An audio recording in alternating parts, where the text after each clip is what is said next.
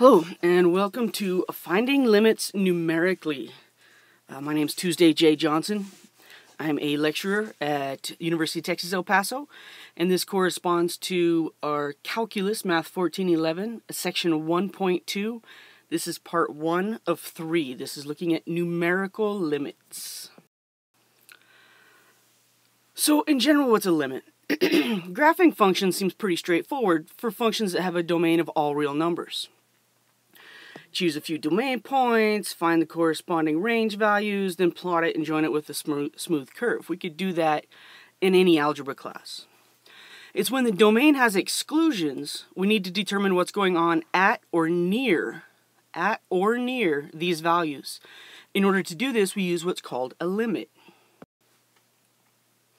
So what is a limit? Informally, all right, so we'll get to the formal definition in a different video, but informally, if a function f of x becomes arbitrarily close to a single number, in this particular example down here, if it comes becomes arbitrarily close to 4, as x approaches a c value, and our c value chosen here is 2, as x gets super close to 2, what's the f of x value doing? And it could be 2 from the left, it could be getting close to 2 from the right, my x values. What are the y values doing? The y values are coming together at 4. So we say 4 is the limit of f of x as x approaches 2. Right, so the limit is the y value that the function approaches as the x values get closer and closer to your c value, in this case 2. Notice the open circle, because we do not care what f of 2 is. We're looking near it. Think of a, a neighborhood as actually a good term for it. We don't care what's happening at this particular house we want to know what's going on in the neighborhood of that house. What does it look like all around it? so if f of x becomes arbitrarily close to a single number L and we have a limit as x approaches c from either side, we write the notation as this. The limit as x approaches c of f of x equals L. Right, so the limit, you have to tell uh, the variable and what it's approaching we have our function. So you can't just write lim equals because that's not appropriate notation. The limit of what? The limit of f of x, or write out the actual function here, equals L. So the y values approach L as the x values approach C. Alright, so one way we could do this with limits is to use a table of values. And with a table of values, there's a lot of choice going on don't be stressing out about did I make the right choice? Is that the right number? Let's take a look. The limit as x approaches 2 of x minus 2 over x squared minus 4. So we want to get our x values close to 2. So I'll take some values that are below 2, 1.9, 1.99, 1, they're getting closer, 1.999, 2, I don't know. And we'll get some values to the right of 2, and these are opposite order of what a normal number line would have them, but 2.1, 2.01, 2.001, I'm getting closer and closer to 2 from values above 2, larger than 2, to the right of 2. And I'm choosing values close to 2, below 2, to the left of 2. Alright, so notice over here, I have my function, x minus 2 over x squared minus 4 my function, I've used the parentheses appropriate for a graphing calculator if you want to use the table function. Parentheses around the entire numerator, parentheses around the entire denominator. Here we go. As I fill in the values for below 2, and I just use a calculator for this, I input my y equals using the parentheses. I input a 1.9 as an x value in my table please feel free to ask for help on the table if you need it. Uh, on the table function of your calculator. 0.2564, 0.2506, 0.2501. We're going to leave that for now. We can't put 2 in. Notice that 2 squared is 4 and 4 minus 4 makes a 0 in the denominator. We can't choose a value of x equals 2 and that's why we choose values close. Now let's use the other half of the table, and we'll choose values close to 2 from the other side. Same function. Now when I input 2.1 in my x value for an input, my output is 0.2439. 0.2494, 0.2499. So we can fill out our table, make sure your accuracy on the decimal places is appropriate for whatever assignment you're doing.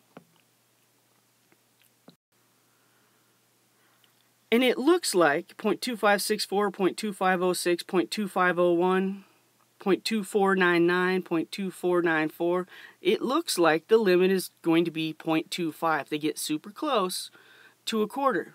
So we make an educated guess, a guesstimate, as the limit is going to be one quarter for this particular function. Let's try another one. The limit as x approaches negative 5 of the square root of 4 minus x all minus 3 over x plus 5. Again, I can't put negative 5 in for x because I'll end up with a 0 in the denominator. So this is not a value that's in the domain of the function. What's happening near there? Using all the parentheses necessary, a set of parentheses around the entire numerator, a set of parentheses around the entire denominator, I use a table once again. Values to the left of negative 5, values to the right of negative 5, but they're getting closer. And it looks like they're approaching the same values. Negative 0.1667. Okay. It looks like that's probably a rounded value. So our answer is negative 0.1666666. But decimals, they're not very exact. This is a repeating decimal. A repeating decimal we need to turn into a fraction. And it turns out that a negative 0.1666666 is a negative 1 sixth. Always use exact values unless specified otherwise. Last example here.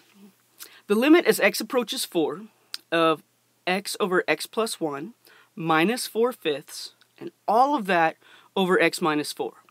This one can get challenging on a graphing calculator to enter it, so don't forget. Always put parentheses around the entire numerator and the entire denominator. You have to be smarter than your calculator. Trust me, you are way smarter than your calculator.